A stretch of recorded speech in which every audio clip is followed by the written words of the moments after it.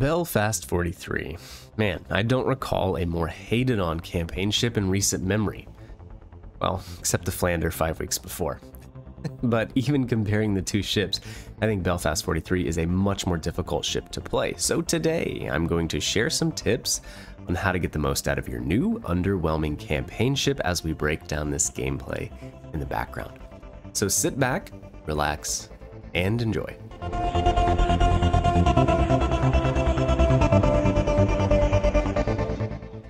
Alright, so let's break this video down. For starters, we'll give you some build ideas that you can use for your Belfast 43, and then we can break down the cruiser play in this background play by play. For my long-term watchers, bear with me. I might get kind of basic in this video, but the more that I play this game, I see players sailing around that have zero concept of how to actually win games and do what they're supposed to do.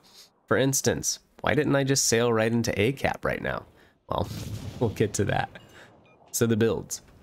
The modules are aiming systems, rudder, concealment, and main battery mod 3. The AP shells and torpedoes are not great on this ship, forget about them. Build for HE damage and fires. That means Bruce Fraser with Burn It Down and Igniter. Also, you have one of the slowest stock reloads of any 152mm gun cruiser, so I do actually recommend Refill Station. More on that later inspirations, lots of directions you could go here. Mikawa and Swirsky got my concealment down to 9.4. B-43 has the third best stock concealment of tier 7 cruisers, so capitalize on it. Another option, keep Mikawa and trade Swirsky for Mimbelli, and that can drop your reload to 7.4 seconds, and that puts the HE DPM at a semi-respectable 238,000. Other players have mentioned Tyrwhitt in my comment sections with the Smogathon build where you can basically be permanently smoked the entire game. Anyways, do what works for you. Moving on. Domination is going to be the perfect game mode for Belfast 43. She has a lot of tools that can help your team win objective points and kill those pesky destroyers. That is your main job. So over here on ACAP, we have an Akazuki and then a Shiratsuyu is also spotted up in the cap. Now the Akazuki has decided he wants to try to gun down um, Suzuya and a Belfast 43 in open water.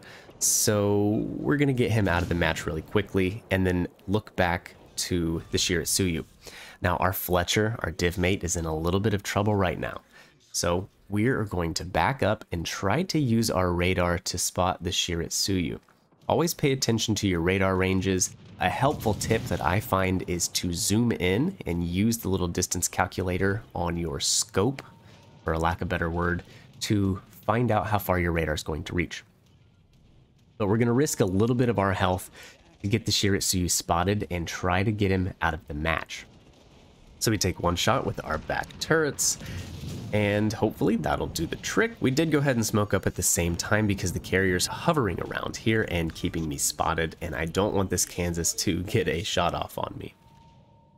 Now, why are we doing all of this and risking life and limb to kill the destroyers? Well, it's because they're the most valuable ship in a domination game. They can move around the map, they are highly concealed, they can capture objective points, spot for their team, and do devastating amounts of damage to your battleships. They have to go. If you have a good carrier player, they should be harassing and spotting the destroyers, unlike the red carrier player here who's deciding instead to attack a couple of light cruisers down here, myself and my division mate. If your main job is hunting destroyers and you have a 9.5 second reload, that can lead to some problems. This is a very slow reload for a light cruiser. And again, that's why I would use refill station. Try to bring that damage output up a little bit because sometimes you might only get one chance at a destroyer, getting them spotted. If they're a good DD player, you're not going to get a lot of opportunities to shoot at them unless they're an open water Khabarovsk gunboating or uh, Tashkent or something like that. But anyways, you have to make your, your chances count and uh, you need to bring up the DPM of this boat. Looking back at the game, left on this side, a Kansas and an Azuma, I believe, somewhere over there. The last red destroyer on the team was in B cap, so we're keeping that in mind, and we're uh, hopefully going to be headed his way really soon, but we have to get the Kansas off the board. Battleships and World of Warships are a hard counter to cruisers, especially one as lightly armored as B-43 here, who has the worst armor scheme of any Tier 7 cruiser. Cleveland, wrapped in 25 millimeters of armor, looks like a dreadnought compared to B-43, so you simply have to hide from battleships. That's why earlier we didn't push straight into the cap. You must rely on stealth, striking from the shadows, or you will die. This entire game so far, you can see that we've used this island in front of me to dictate who I let shoot at me.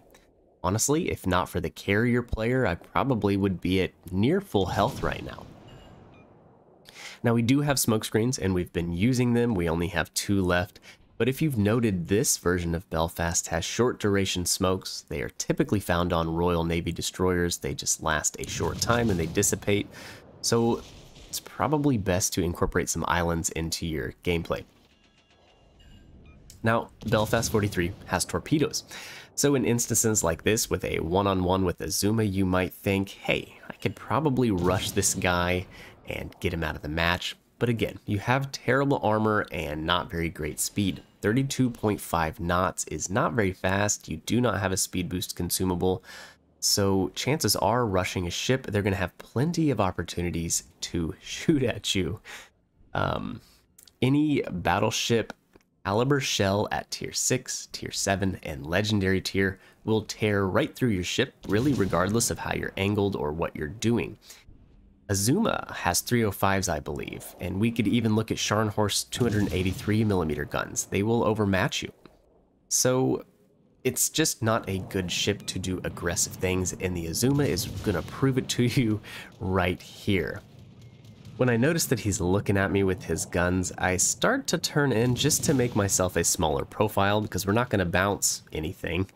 Um, but we were too slow on the draw and take a lot of damage. And I think Azuma actually has 310 millimeter guns. Leave it to the IJN, always putting bigger guns on their boats. All right, so with the Azuma about to die, we have pretty much cleaned up this cap. Again, this, I, I feel like this stuff goes without saying, guys, but I guess I have to say it. Notice we did not immediately sail to B cap or C cap at the beginning of the game. We stayed here to finish the job. We cleaned up the flank, we killed everything that was moving, and we got the cap. If you leave a ship alive on a flank and you sail away, they will simply take the cap from you and continue to accrue points against your team. So, always clean up your flank before leaving it. That is a big, big way to uh, win more games. Now we can start looking at B cap. We know there was a Moss last spotted somewhere over here in this area. We still have the carrier to contend with, and then there is one cruiser. The next thing we definitely need to do, get BCAP. We're up on points, yes, that's looking good. We're up on ships, that's looking good, but I have seen these games turn around very quickly. Looks like our battleship might die over here, and then that's going to even the odds up. My division mate's going to go north, so we're splitting up here. He's going to look for the carrier. I'm going to look for the DD and cap this point. Our health. Pretty critical looking right now. That is another huge downside to Belfast 43. Unlike the other Tier 7 cruisers, we do not get heals. Well, let me explain. There are heals, but you have to give up your smokescreen in order to use them. And also, the heal is trash. Heals are good for 6,400 a piece, bringing your effective health up only 12,000 when using refill station only having two heals. So this is not a British super heal like the Edinburgh and the Albemarle get. It's very average. It's not worth using at all. So we don't get to heal back any of this damage.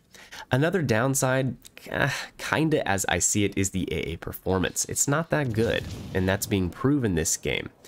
Damage per second is 207, and while that is still way better than some, like Suzuya's 67, we're not getting a lot of planes shot down. We have five, and I feel like we've been harried by the carrier quite a bit. The best thing I could recommend, especially if you're getting focused by a powerful carrier like the Parseval, use a smokescreen. You're probably not going to be able to just dodge, uh, so use smoke, get cover, or use your allies for a little extra AA coverage. So the Mainz was on life support, but we yoinked the kill anyways. That's how the cookie crumbles. um, and this will be a cracking game. Uh, but yes. Okay, another notable thing with Belfast 43. You are going to have so much more fun if you play in a division. It doesn't hurt if your division mates also happen to be tryhard chads that can carry you and tow your sunk Belfast back to port, but really, having a destroyer to spot, or a CV, I guess, would help immensely. Really, you can't go toe-to-toe with any other ship in the game with the same tonnage or more. You don't have the armor for it. You don't have the agility or the speed to play an agile cruiser and kite and dodge and move around the map that way. Your best feature is stealth, and without a teammate to spot targets for you, you can quickly become useless or dead. So grab a divmate and go ham. Well, here we are showing my wonderful aiming prowess. the uh, Belfast 43 has pretty floaty shells. I think they're like 840 meters per second in the air. It's not as bad as Atlanta or some of the other American ships, but it is definitely not very fast. So aiming takes a little bit to get used to. Now, one thing I haven't pointed out yet, and I did want to bring up while Belfast 43 has a pretty slow reload, she does get a little buff over the original Belfast with shell damage. Not only that, but she gets 30mm pins, so she does do a lot more damage in the regards of not shattering as many HE shells. But overall, guys, my divmate is going to murder the carrier here, and that will wrap up this game for us, which turned out to be a pretty good game. 3300 base XP. I don't know what the record for this ship is. I doubt it's very high, to be 100% honest with you. But um, I still enjoy the ship. I enjoy it a lot more than the Flander. I really, yeah, okay, I won't say anything about the Flander. But I do enjoy the Belfast 43 in a division. I think she's a good support ship and a lot of fun. And I've been enjoying her, even though she is not the strongest ship out there. But here's my take on that. Wargaming can't release bangers all the time. If so, things like the Mainz in the Weimar being released would continually power creep everything else in the game. Ships like B-43 need to exist so we can complain about them and then go play the Mainz. Alright guys, I would appreciate it if you left a like on the video and comment down below what you think of B-43. Be sure to subscribe for future content. I would love to see you around in the future. I'll catch you in the next one. See ya.